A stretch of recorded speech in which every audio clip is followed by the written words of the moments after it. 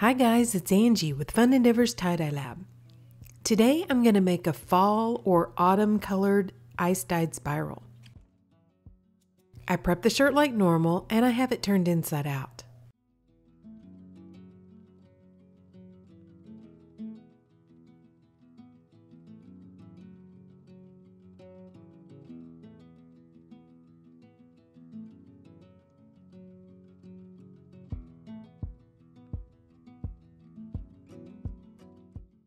This time I'm going to start the spiral down in the lower portion of the shirt.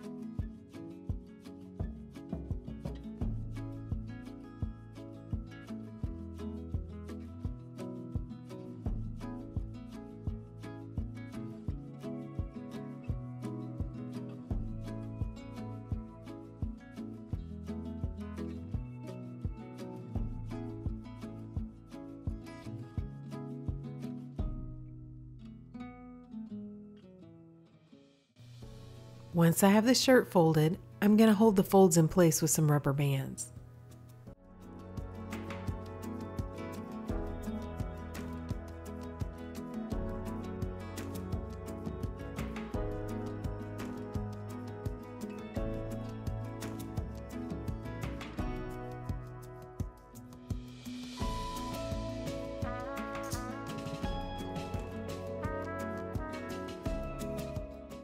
So now that the weather has cooled off a little bit, I decided to try to incorporate a few more earth tones into my tie-dye. So I pulled these three colors, chartreuse, bronze, and midnight blue. Let's see how they look together. I'm going to ice dye the shirt, so I've placed it on a rack and I've made myself an ice barrier using my silicone cake molds. I have a link down below in the description for where I purchased the cake molds. Using a washable marker, I also divided my shirt into three sections, and each one of the lines I took into the middle of the spiral. That way all my colors are going to originate from the middle spiral. In the first section, I'm adding chartreuse from Dharma,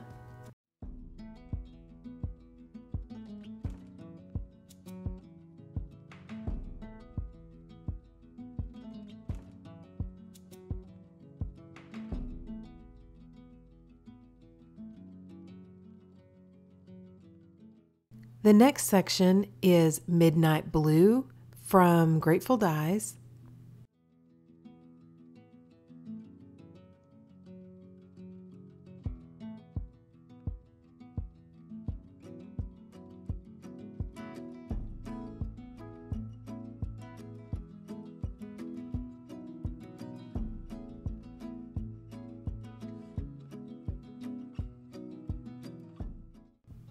And I'm going to put bronze from Dharma Trading Company in the last section.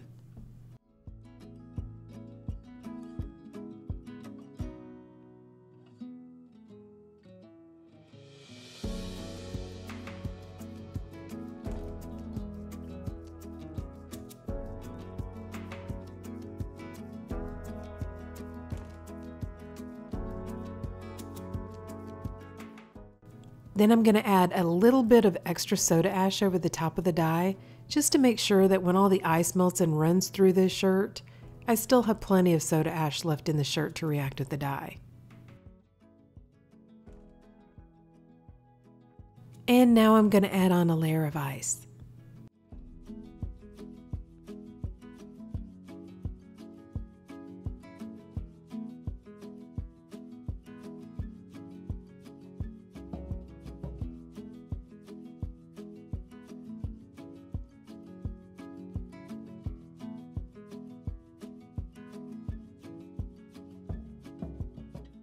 I set the shirt aside and I allowed the ice to melt. And this is what it looked like after the ice melted on the front side of the shirt. As you can see, the colors have come through really well to the back side.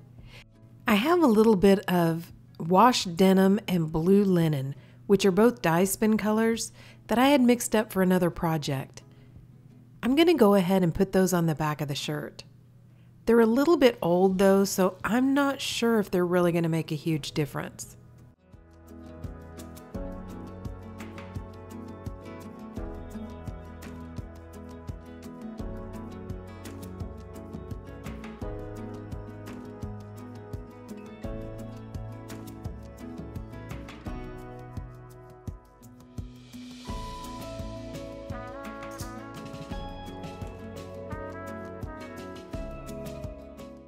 Then I set the shirt aside and I allowed it to process for about 24 to 48 hours. After the shirt processed, I rinsed the shirt like normal by rinsing it in cold water to rinse out the soda ash. Then I untied the shirt and gradually warmed the water up to hot and continued rinsing to rinse out any of the excess dye that didn't bond with the shirt.